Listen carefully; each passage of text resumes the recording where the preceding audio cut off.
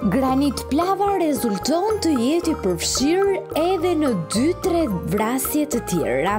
Ja çfarë deklaroi gazetari I mirënjohur i cili shprehet për vrasësin me pagesë Granit Plava, i cili nuk është vetëm vrasësi i Liridonës, ai ka kryer dhe dy apo tre akte të tjera të cilat rezultojnë që ai të ishte i dyshuari kryesor, por më pas ka arritur të lirohet nga burgu dhe kjo e ka bërë atë që ende të jetë i lirë dhe të jetë një person mjaft i rrezikshëm për të gjithë ata të cilët sigurisht e njohin dhe duan ta paguajnë atë për t'i ardhur atyre në ndihmë në vrasjet e tyre të mirëmenduara për të gjithë grupet kriminale.